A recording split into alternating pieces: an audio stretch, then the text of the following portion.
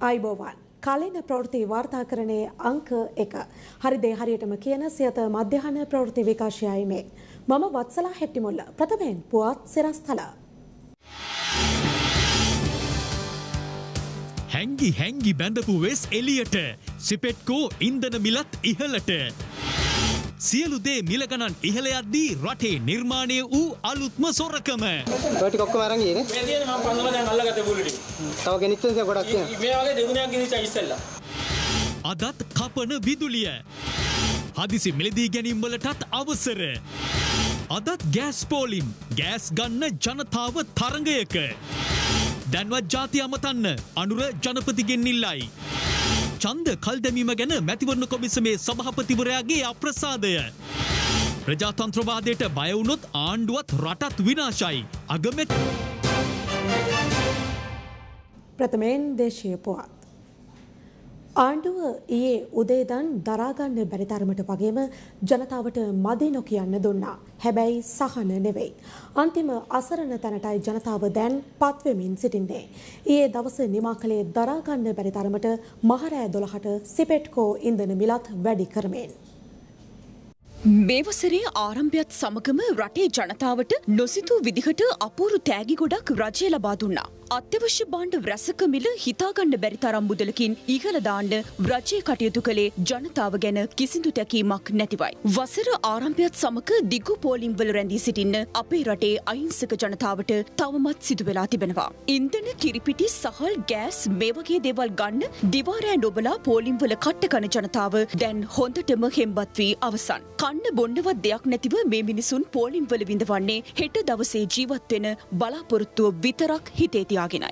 ජනතාවට එක පෝලිමක ඉඳලා තවත් පෝලිමකට යන්න වෙන එක දැන් අපේ රටේ නම් සුලභ දසුනක් බවට පත් වෙලා. ඒ දිහා බලාගෙන රටේ ඉහළ පුටුවල ඉන්න පාලකින් නම් දැක්කේ නැහැ වගේ ඉන්නේ ඔවුන්ට අවශ්‍ය ජනතාවගේ ඡන්ද පෝලිමක් විතරයි නිසයි. සෞභාග්‍ය දැක්ම ප්‍රතිපත්ති ප්‍රකාශයට අනුව රටේ ජනතාවට සහන රසක් ලබා දීමේ බලාපොරොත්තුවෙන් බලයට ආපු ආණ්ඩුව අද යන්නේ කොයි පාරේද කියලා හිතා ගන්නවත් බැහැ කියලයි ජනතාව නම් පවසන්නේ. හිතූ හිතූ විදිහට අත්‍යවශ්‍ය බාණ්ඩවල මිල වගේම ඉන්ධන මිල ඉහළ දාන්නත් අදාළ සමාගම්වලට අවසර දීලා පාලකීන් උඩ බලාගෙන ඉන්නේ කාගේ කාගෙත් මඩිය තර කරගන්න කියලයි දැන් නම් පේන්නේ. රටට අහිතකර ගිවිසුම් අත්සන් තැබීම් වගේම හැමදේම මහරෑ කරන මේ ආණ්ඩුව දැන් නින්දෙන් ඇහැරුණු ජනතාවට හාට් ඇටැක් ඇතිවන වැඩයි කරන්නේ. ඉන්දියාවට ඇහෙන්න ඊයේ මුළු රටම IOC එකට බැන්නා. තෙල් මිල ඉතිහාසයේ වැඩිම මුදලකින් ඉහළ දැමීම නිසා. එතකොට ඊයේ මධ්‍යම රාත්‍රී 12ට විනාඩි 15කට කලින් ඉතිහාසයේ සිපෙට්කෝ වැඩි කළ ඉහළම ඉන්ධන මිලට දැන් කාටද බනින්නේ. ඊයේ මධ්‍යම රාත්‍රියේ සිට ලංකා කංජිතෙල් සමාගමට අයත් ඉන්ධනවල මිල ඉහළ දැමීමට කටයුතු කළා. ඒ අනුව ඔක්ටේන් අනු දෙක වර්ගයේ පෙට්‍රල් ලීටරයක් රුපියල් හැත්තෑ පහකින් ඉහළ දමා තිබෙනවා. එහි නව මිල සටහන් වන්නේ රුපියල් දෙසිය පනස් හතරක් ලෙසයි. ඔක්ටේන් අනු පහවර්ගේ පෙට්‍රල් ලීටරයක් ඉහළ දමා ඇත්තේ රුපියල් හැත්තෑ පහකින්. එහි නව මිල රුපියල් දෙසිය අසූතුනක්. ඩීසල් වීටරයක මිල රුපියල් පනස් පහකින් ඉහළ දමා ඇති අතර එහි නව මිල රුපියල් එකසිය හැත්තෑ හයක්. සුප ඩීසල් ලීටරයක් රුපියල් අනු පහකින් ඉහළ දැමීමටයි කනිජතෙල් සංස්ථාව පියවර ගත්තේ. එහි නව මිල සටහන් වන්නේ රුපියල් දෙසිය පනස් හතරක් ලෙසයි. මේ විදිහට සිපෙට්කෝ ඉන්ධන බිලත් ඉහළ දැමීම රටේ ජනතාවට නම් දැන් දරාගන්නම බැරි තැනට පත් වෙලා. ඔයාලට ප්‍රශ්නේ විසඳන්න බැයි නම් ඔය මේ ස්නායු මැරිච්ච කට්ටිය ඇමතිකම් වල තියාගන්න එපා. මම පොහොට්ටුවට තමා එදා ඉඳලා දුන්නේ. දෙයියන් ගෙනාවෙන්න. බැයි නම් මේක දාලා යන්න ඔයාලා. එයාට පිස්සු එයා වයසයිනේ. අපිට එපාම වෙලා තියෙන්නේ. බලන්න දැන් පැට්‍රෝලයක් ගහගන්න කියලා ආවේ දෙසෙට් දෙකේම නැහැ. මේ ළමයිව පන්ති ගෙවන්න අක්ක යන්න දිනවා. අපිට රාජකාරියට යන්න දිනවා විදිහක් නැහැ. ගෑස් නැහැ. මොකද්ද මේ රට කියන්නකො විනාශම කරලා දැම්මා. විනාශම කරලා දැම්මා. ඉතින් බලන්න අපි ජීවිතේට හිතුවේ අපි හිතුවේ ඇමරිකාවෙන් හරි ගෙනල්ලා මේ මිනිස්සු මේ රට කරයි කියලා තමයි තුනෙන් දෙකේ බලයක් කිල්ලුවා තුනෙන් දෙකේ බලයක් දුන්නා. උම්පෝෂණය වෙනවා. උම්පෝෂණය වෙන එක තමයි කරන්නේ. අපේ දාඩිය මාංශයෙන් උම්පෝෂණය වෙනවා. වෙන කියන්න දේවල් නැහැ. දැන් අපටත් වහබොණ්ඩ වෙලා තියෙන්නේ. එක සෙඩ් එකවත් තෙල් නැහැ. යන යන තැන තෙල් නැහැ. මුන් ගහන්න ඕන මහත්තයෝ. මේ අතර පෝලිම්වල ඉන්න ජනතාවගේ බූලි හොරකම් කරන තැනට ජනතාව දැන් පත් වෙලා. කියන්නේ මිනිස්සු තෙල් ගන්න මිනිස්සු ගෙනාවු තෙල් ගන්න මේ පොලිමේ තියලා ගිය පොලි මේ ඇවිල්ලා මගෙන් අහනවා මේ තෙල් නෑ නේද අද එන්නේ නෑ එහෙනම් මගේ පොලි මං අරන් යන්නම් කියලා මම අරන් ගියා දෙවනි පාරත් අරන් යද්දි මට සැක හිතුණා බෝලි කරකම් කිරීම ජාවාරම ඒ ජාවාරම මේ දවස් ටිකේම පොලි නැති වුණා මෙයා තමයි ඒ විදිහට අරන් ගිහලා තියෙන්නේ. දැන් මේ මේ පුතුල කොහෙද මෙයා මිනිවංගොඩ. අනිත් එක්කන මේ පැත්ත ගිරිතෙලේ උපදෝ කියලා කියන්නේ. මේකේ සම්බන්ධ මේ මේකේ සම්බන්ධයි. මම ලයි මේ බූලි ගෙනිච්චේ නෑ එයා කිව්වා එයාගේ බූලි කියලා මම තියලා තියෙන පොලිමේ තෙල්ලෙන්නේ නැහැ කියලා තරහින් ඒකට දන්නේ නැතුව කොහොමද බූලි ගෙනිච්චේ ඔයා කියන්නේ මේ මෙයා මෙයා ඔයාගේ හයර් එකක් කරනවා ඔය ටික ඔක්කොම අරන් ගියේ නේ මේ තියෙන මම පන්දලා දැන් අල්ලගත්ත බුලි ටික. තව ගෙනිච්ච නිසා ගොඩක් තියෙනවා මේ වගේ දෙගුණයක් ගෙනිච්චා ඉස්සෙල්ලා. කොහෙවත් ටවුමේ කඩවල බූලි නැහැ. ඒකයි මිනිස්සු බූලි හොරකම් කරන්නේ. රුපියල් 800ක් විතර කියන වෙන්ද රුපියල් 150ට 200ක් තිබේ බූලි. දැන් රුපියල් 800ක් 750ක් 800ක් වෙනවා. දැන් මීට කලින් තුවා බූලි හොරකම් වෙලා තියෙනවා හොරකම් වෙලා තියෙනවා. මෙතන බූලි නැති වෙලා තියෙනවා. පොලිමේ තිබ්බම බූලි නැහැ. මිනිස්සු කෑ ගන්නවා ඉතින්. අදත් විදුලි කප්පාදුව ක්‍රියාත්මකයි. මේ අතර බලලත් මල්ලෙන් එළියට පැන්නා. ඊයේ දින මහජන උපයෝගිතා කොමිසම හදිසි මිලදී ගැනීමකට අවසර දුන්නා. මේ හදිසි මිලදී ගැනීම හරහා ඉදිරියේදීවත් විදුලි අර්බුදය නවතී කියලා ජනතාව බලාගෙන ඉන්නවා.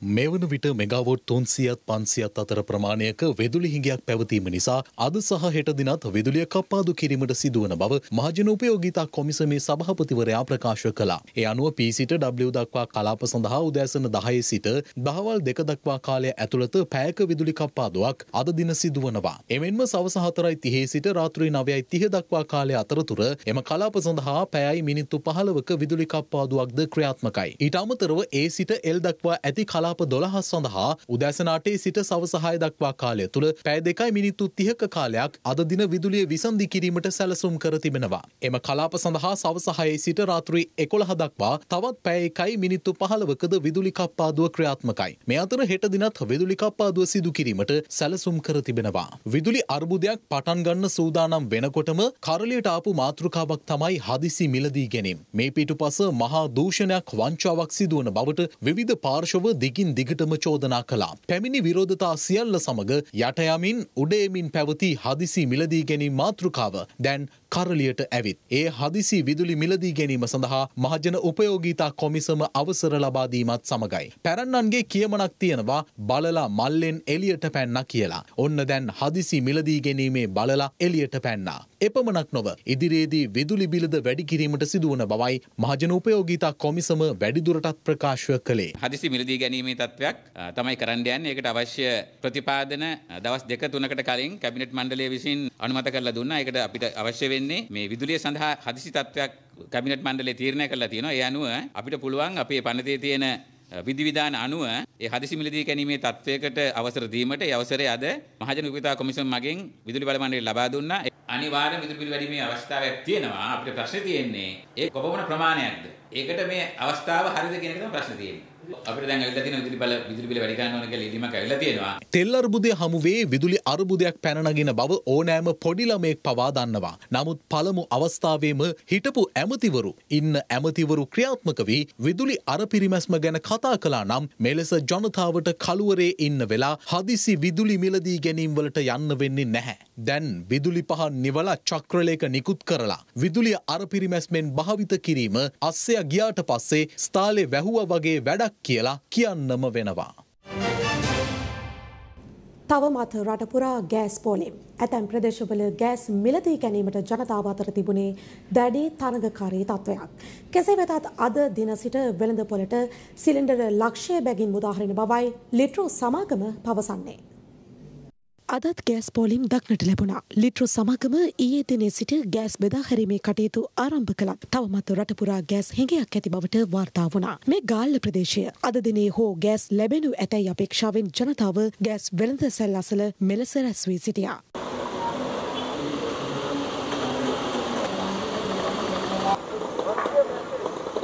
ගෑස් එන්නේ නැත්නම් කඩේ අයිති එක්කනට ඇවිල්ලා කියන්න කියන්නේ අද ගෑස් එන්නේ නැහැ. එතකොට මේ මිනිස්සු මෙච්චර ඉන්නේ නැහනේ පොලිමේ.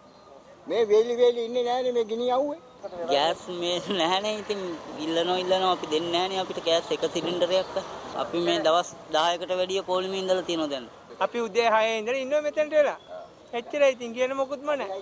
මෙදා ඡන්ද දීලා කරගත්තු දේ දැන් අපිටම කැලවිලා තියෙන අපි දීලා. වසරිකක් දෙන්න කියන්නේ අපිට කාලෙ මැරෙන්නේ. එච්චරයි. ඔය ගීයත් අහලා පෙරේදත් අහලා. මේ අතර දින 20කට පසු භගවන්තලාව ප්‍රදේශයට ලිට්‍රෝ ගෑස් සිලින්ඩර 60ක් අද දින නිකුත් කර තිබුණා. ගෑස් ලබා ගැනීමට පාරිභෝගිකින් අතර තිබුණේ දැඩි තරගයක්. සීමිත ප්‍රමාණයකට ගෑස් සිලින්ඩර ලැබීම නිසා ඇතැම් පුද්ගලයින්ට ගෑස් ලබා ගැනීමට නොහැකිව නිවෙස් වෙතට යාමටද සිදු වුණා.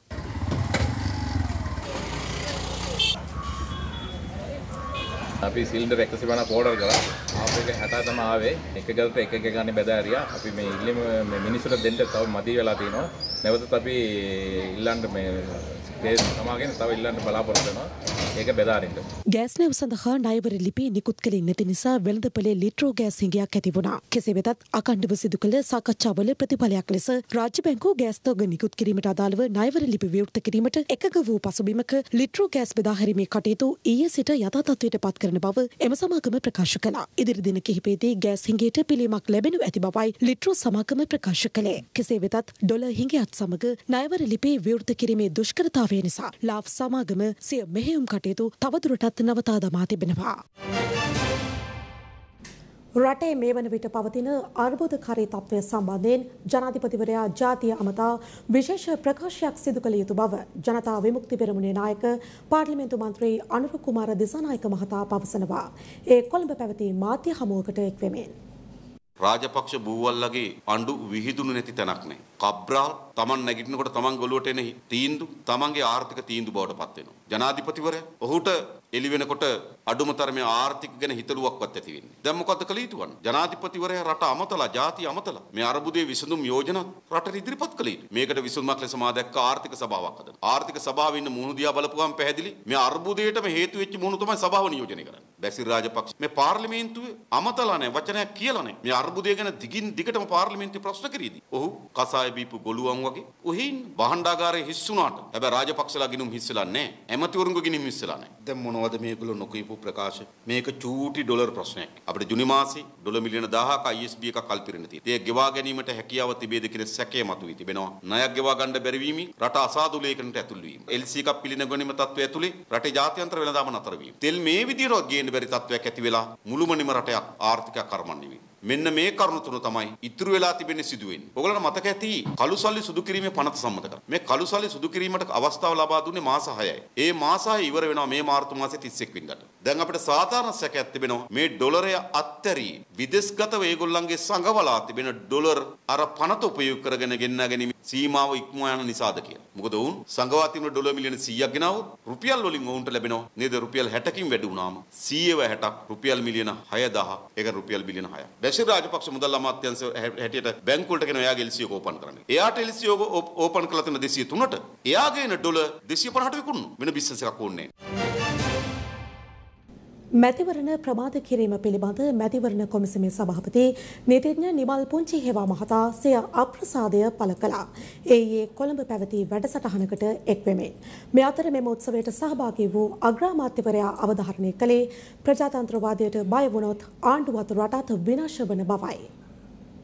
චන්ද හිමියන්ගේ දිනය සැමරීමේ ජාතික උත්සවය ජනාධිපති ගෝඨාභය රාජපක්ෂ සහ අග්‍රාමාත්‍ය මහින්ද රාජපක්ෂ යන මහත්වරුන්ගේ ප්‍රධානත්වයෙන් කොළඹදී පැවැත්වුණා. මහජන නියෝජිතව නැතුව මහජන ආයතන පවත්තා ගෙන යෑම ගැන කොමි සභා එක්ගත්තයක් නෑ. මොනාකාරයකෝ චන්දයත් කල්ලමීම ගැන කොමි සභා එක්ගත්තයක් නෑ. අපි කිව්ව පරාසභා තියන්න. ඊළඟට පලාත් පාලන ගත්තබ. අද කල් දාලතිය. ඒ කල්දානකොට අඩුවසයෙන් අපි හිතනෝ මාතතුමා විසින් ප්‍රසිද්ධ ප්‍රකාශයක් ජනතාට කර මේ හේතුමද සෞඛ්‍ය හේතුවෙන් පුළුවන් මුදල් ආර්ථික හේතුවෙන් පුළුවන් වෙනත් හේතුවෙන් පුළුවන් අප කල්දාන සිද්ධ වුණා කියලා. එහෙම කරා නම් වඩා වටිනවා. අවසාන පළාත් පාලන ඡන්දයට කලින් මැතිවරණ කොමසාරිස් දෙපාර්තමේන්තුවට පෙළපාලියා තරුණ පිරිසක්. එදා හිටපු මැතිවරණ කුමාරසිතුමාට ඇමතුවේ ආතය කියලා. එදන මහින්ද දේශප්‍රිය ආතය කියල තමයි කිදා කිව්වේ. උන්කිව අපේ ඡන්දය අයිතිය අපිට දෙන්න. ඇත්තටම ආතය කිව්වට යාව පිරිසර සත් වයස දාටේ පහු කරලා ගොඩක් කල්. එය එදාවේ සර්වජන චන්දය ලැබුණ දායිඳලා මේ රටේ තරුණ තරුණයන් මුහුණදීපු ප්‍රශ්නයක් ගැන කතා කරන්න. සෑම වසරකම චන්දහිමි නාමලේඛනය අදන්නේ ජූනි මාසි. චන්දයක් පැවැත්වෙනකොට මේ වන තෙක් බැලුවේ පසුගිය අවුරුද්ධ වයස දහට සම්පූර්ණ කළ ඇගේ නාමලේඛන අනුව චන්දවරම දෙන්න.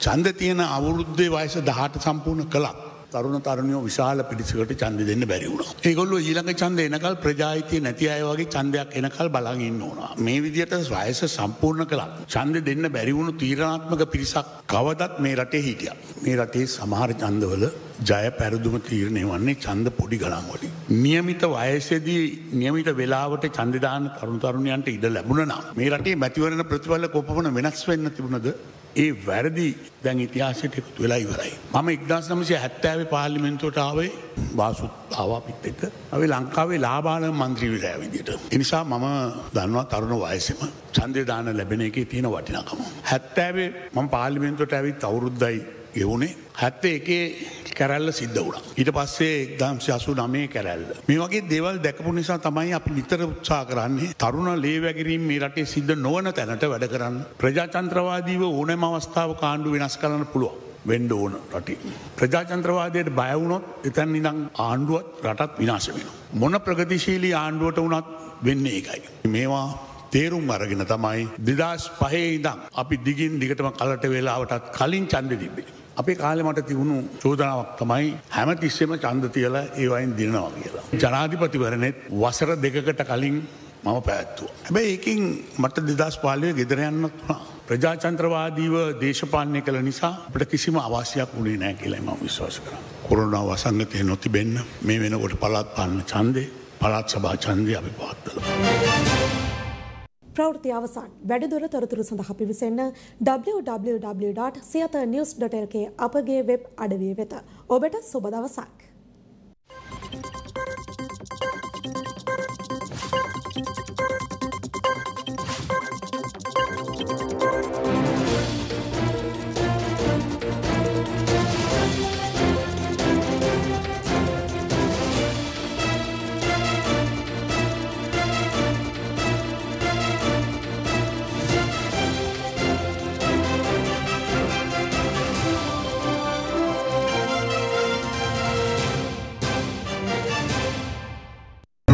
දිනපතා අලුත් වීඩියෝ සහ ප්‍රවෘත්ති නැරඹීමට ඉහත බටන එක කලික් කර සියත TV සබස්ක්‍රයිබ් කරන්න.